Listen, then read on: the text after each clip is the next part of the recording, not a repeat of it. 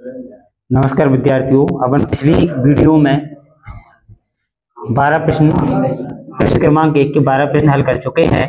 आज अपन प्रश्न क्रमांक तेरह हल करेंगे, जिसमें अपन ने क्या निकालना है? शून्य निकालना है। ठीक है? और इसके सत्ता की जाँच विद्यार्थियों, आप स्वयं कर सकते हो। मैंने दो प्रश्नों में कराई है, क्योंकि यह ज़्यादा इम्पोर्टेंट नहीं है पेपर की दृष्टि से, क्योंकि वहाँ पर शून्यांक पूछे जाते हैं, उसकी सत्ता की जाँच नहीं।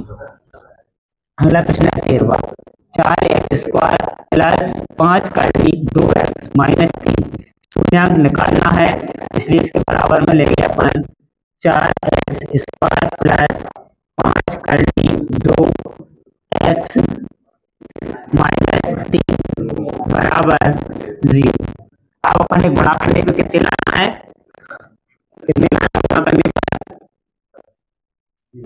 पर बारह मतलब माइनस के बारह एक्स स्क्वायर कितने प्लस के पाँच करनी टू एक्स ठीक है? तो यहाँ पर इसको ऐसा तोड़ सकते हैं। चार एक्स स्क्वायर प्लस के छह करनी दो एक्स और माइनस के करनी दो एक्स माइनस तीन बराबर ज़ीरो। दो एक्स में से माइनस की करनी दो एक्स हटाएँगे तो कितने बचेंगे? पाँच करनी पाँच करनी दो एक्स ठीक है, यदि गुणा करेंगे तो कितना चार चार पर कितना होता है दो। दो का बोला छह छह दूनी बारह माइनस के बारह एक्स स्क्वायर आ जाएँगे। तो इसका इन दोनों में एक संख्या दिख है अपने लिए। इन दोनों में एक संख्या दिख है। तो इन दोनों अपने लिए बेटा? यहाँ से ले सकते हैं। दो करनी दो दो करनी, दो एक्स ठीक है तो यहाँ पर आ जाएगा अपना चार के लिए तो यहाँ पे देखते हैं। इसका अपना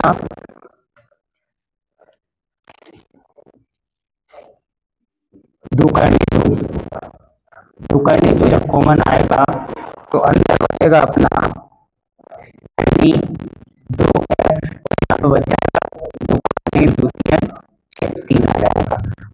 से लेंगे अपन। माइनस का अंदर आएगा करनी दो एक्स प्लस तीन बराबर ज़ीरो अब इन दोनों में से एक कॉमन ले लेंगे तो क्या आएगा? दो करनी में दो एक्स प्लस तीन जो कॉमन लेंगे। अंदर बचेगा अपना दो करनी, दो यहाँ पर अपन क्या रोल लेना था? एक्स लेना था कॉमन अंदर क्या आएगा? दो करनी, दो एक्स माइनस बराबर? ज़ीरो या तो करके लिखेंगे, या तो करनी दो एक्स प्लस तीन बराबर ज़ीरो। पक्षांतर करेंगे तो करनी दो एक्स बराबर माइनस के तीन। तो अपना एक्स बराबर माइनस तीन बटे करनी दो। ऐसे लिखेंगे, या तो या तो दो करनी दो एक्स माइनस एक बराबर ज़ीरो। एक का पक्षांतर करेंगे दो करनी दो एक्स बराबर प्लस का एक हो जाएगा। माइनस का तो बराबर इस तरफ़ आएगा, प्लस का हो जाएगा। तो ये आएगा अपना एक्स बराबर एक बटे दो करनी दो। इस प्रकार अपना प्रश्न क्रमांक तेरवा कंप्लीट हुआ। ऐसा करके लिख देना कि अतः बहुपद के शून्य ठीक है? अगला प्रश्न चौदह प्रश्न हल करेंगे। तो चौदह प्रश्न दिया है अपना चौदह प्रश्न है। दो एक्स स्क्वायर माइनस एक प्लस दो करनी दो एस प्लस करनी के अंदर दो शून्य इसके बाद मान लेंगे। दो एस स्क्वायर इसका अंदर तो यार अपना एस प्लस दो करनी दो एस प्लस करनी दो, बराबर ज़ीरो सीधा है पर जो एस तो एस कॉमन लेंगे तो बचेगा? दो एस माइनस एक। यहाँ से कॉमन आ जाएगा अपना करनी दो। ठीक है तो अंदर बचेगा दो एस प्लस एक, बराबर ज़ीरो अपना, या तो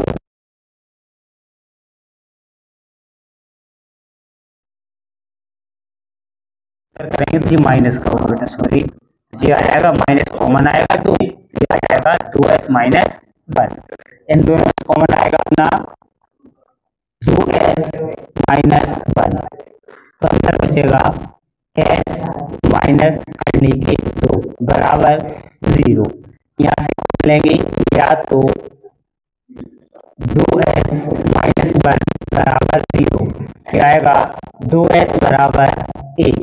आएगा एस बराबर एक बटे या तो या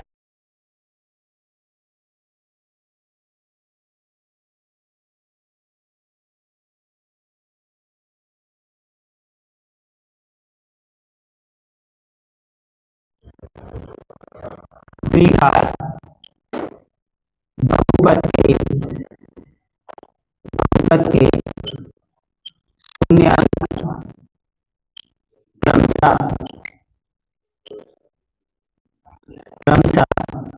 एक बटे दो है इस प्रकार अपना पहले किस्म का प्रश्न क्रमांक चौदह भी कंप्लीट हुआ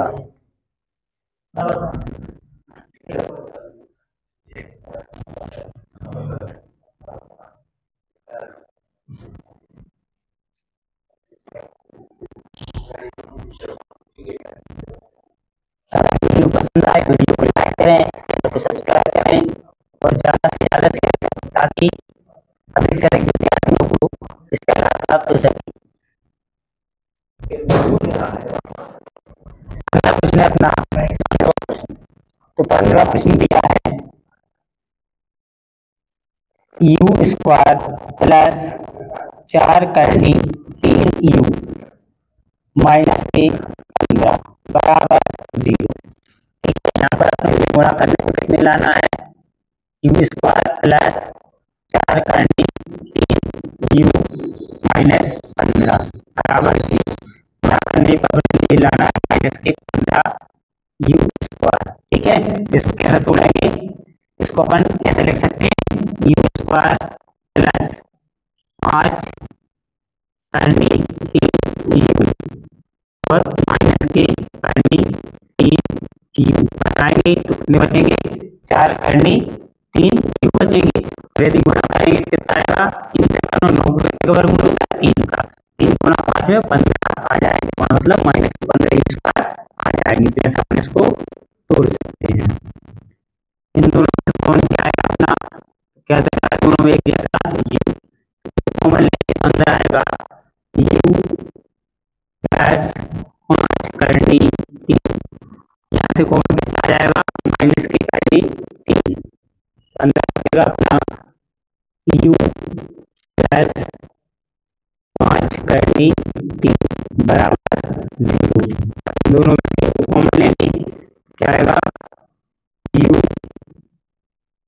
प्लस पाँच करनी।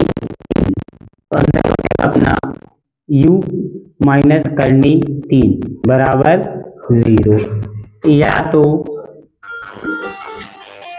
u प्लस पाँच करनी तीन, बराबर ज़ीरो।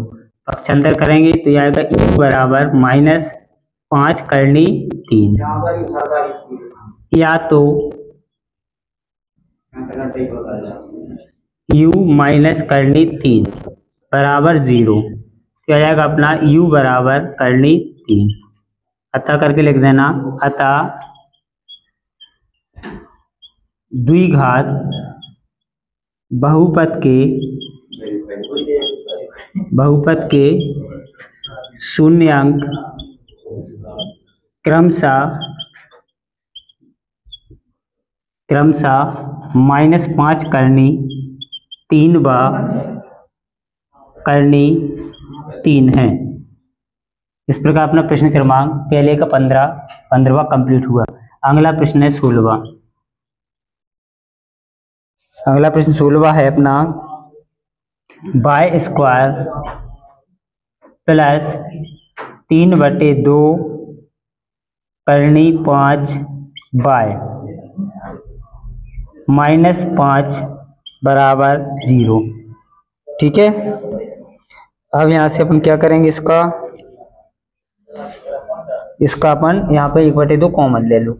जैसे कि यदि अपन इसमें से एक बटे दो कॉमन लेंगे तो अंदर क्या आ जाएगा? यहाँ पर नहीं है तो क्या आएगा? दो बाय दो बाय स्क्वायर और यहाँ पे आ जाएगा बेटा प्लस जाएगा प्लस तीन करनी पाँच बाय और यहाँ पर हो जाएगा जब पाँच है तो फाइव दूनी दस हो जाएगा बराबर ज़ीरो क्रॉस बड़ा करेंगे तो आएगा अपना दो बाय स्क्वायर प्लस के तीन करनी पाँच बाय माइनस दस बराबर ज़ीरो ठीक है, गुणा करने पे कितने लाना है अपने गुणा करने पे लाना है बीस बाय स्क्वायर और जोड़ो घटाओ तो कितने आना चाहिए प्लस के तीन करनी पाँच बाय। ठीक है? तो बीस लाना है तो इसके लिए अपन क्या करेंगे?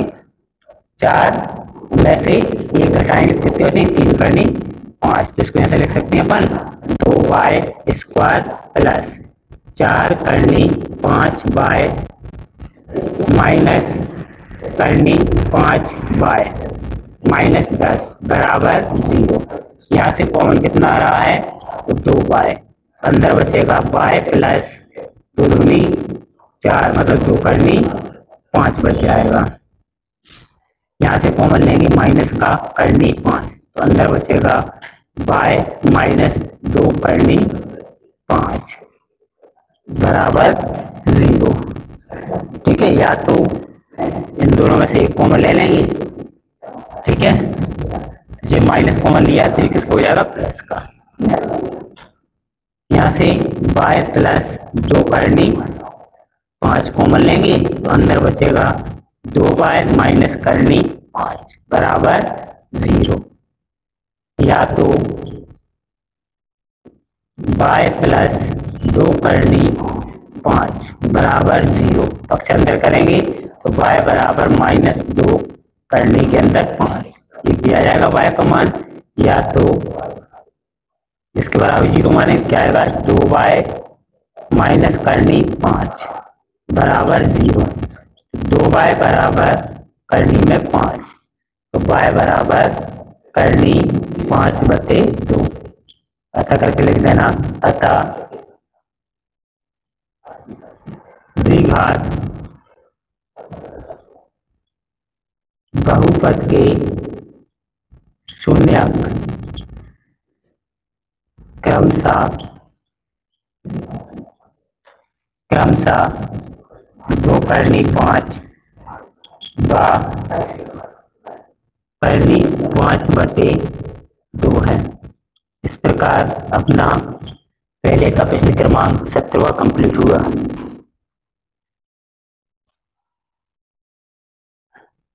सोलवा प्रश्न कंप्लीट हुआ अगला प्रश्न है, अपना सत्रवा अंतिम प्रश्न बचा है। इसका शून्य शून्यांकों वाला।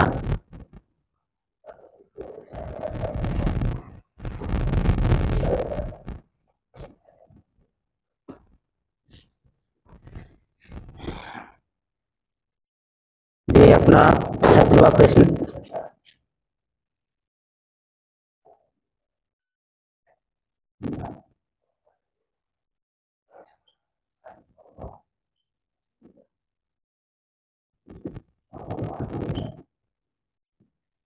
विद्यार्थियों, इसके शून्यंक आप स्वयं ज्ञात करें। यदि वीडियो पसंद आए तो वीडियो को लाइक करें, चैनल को सब्सक्राइब करें। जय हिंद।